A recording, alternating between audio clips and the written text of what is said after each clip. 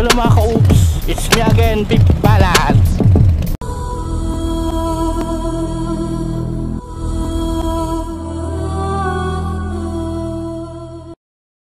Hello mga ka-oops, it's me again, Big Balad.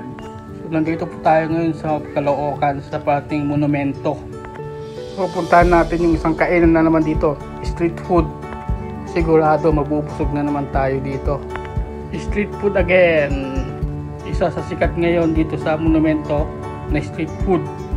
Loaded lugaw, loaded mami, loaded na tokwat baboy. Sa murang halaga lang. Mga ka sundan nyo ako sa video ito para at least uh, magutom din kayo sa kakainin ko. Dito lang sa pating monumento Caloocan.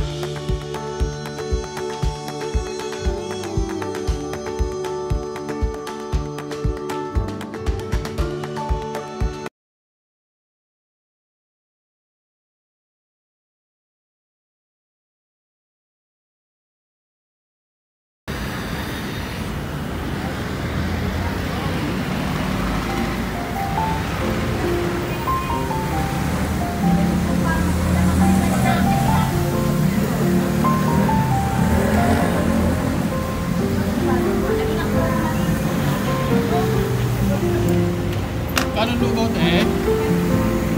Parento po yung may laman. Ngayon na lang 40. Kahit po kayo. Oo, bakit? Itong mami magkano? Kasi po.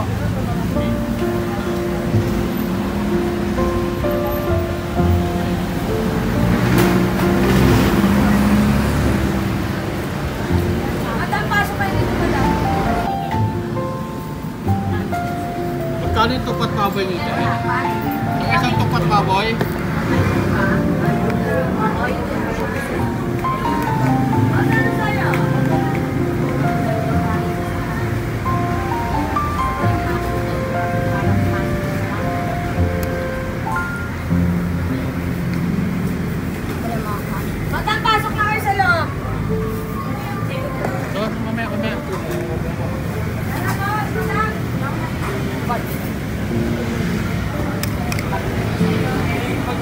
tá com bagulho.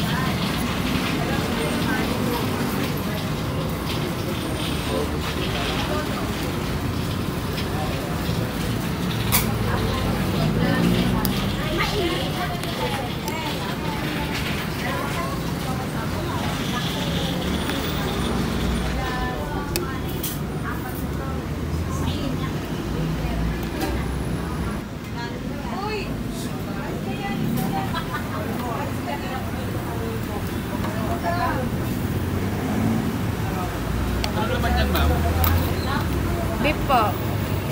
Beef pa. Egg. Egg po.